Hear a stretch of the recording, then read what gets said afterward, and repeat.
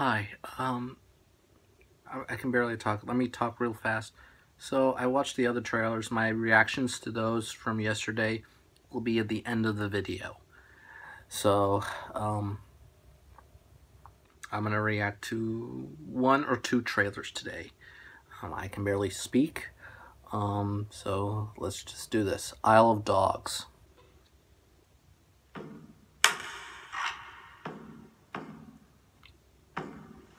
The Japanese archipelago, 20 years in the future.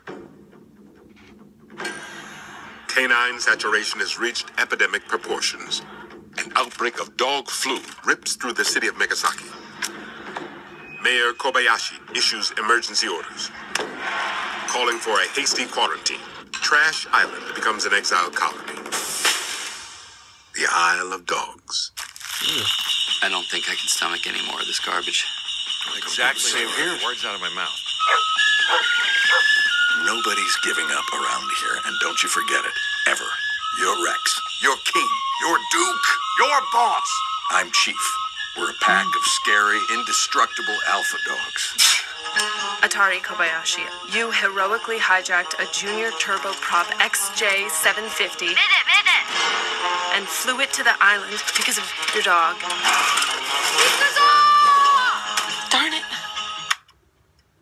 I've got a crush on you.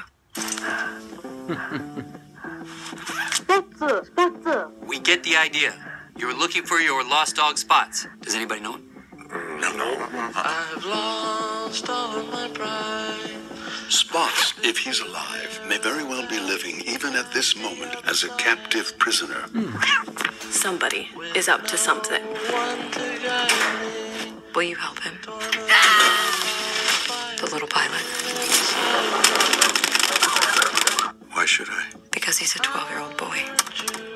Dogs love those. We'll find him. Wherever he is, if he's alive, we'll find your dog. Ah! It's gonna be a fight.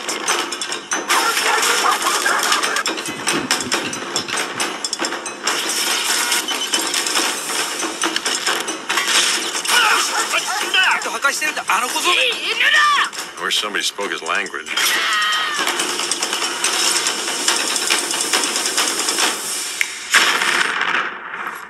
Wow!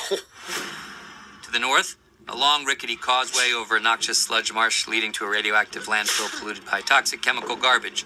That's our destination. Great. Get ready to jump.